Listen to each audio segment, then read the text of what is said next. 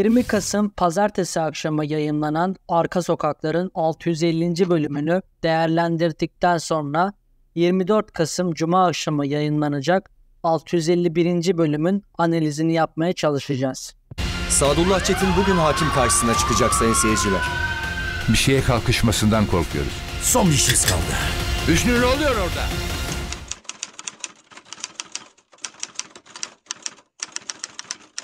Dün akşamki bölüme bir puan verecek olursam 10 üzerinden 9 verebilirim. Bana göre 650. bölüme yakışır bir senaryo olmuş. Ama bazı izleyici şu konuda beğenmemişti. Alper ve Sinem'in şehit olmasından sonra kimse ağlamamış. Arkadaşlar bir polis veya asker şehit olursa arkadaşları operasyondaysa salya sümük ağlamazlar. Eğer ki ağlarlarsa bunun açıklaması şudur.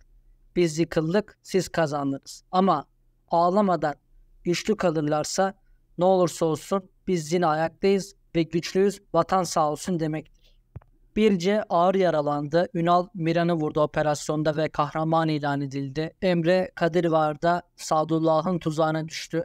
Son sahne oldukça gizem doluydu. Bakalım Cuma akşamı neler olacak.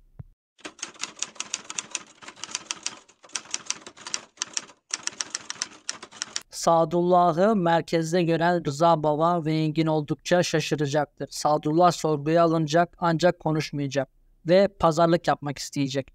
Emre, Kadir Varda'nın yerini öğrenecekler. Bomba patlayacak ancak kurtulacaklar.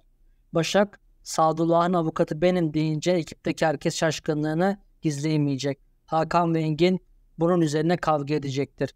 Ünal, Sadullah'ın yakalandığını öğrenince çok şaşıracak ve tayin isteyecek. Hakan da polislikten istifa edecek.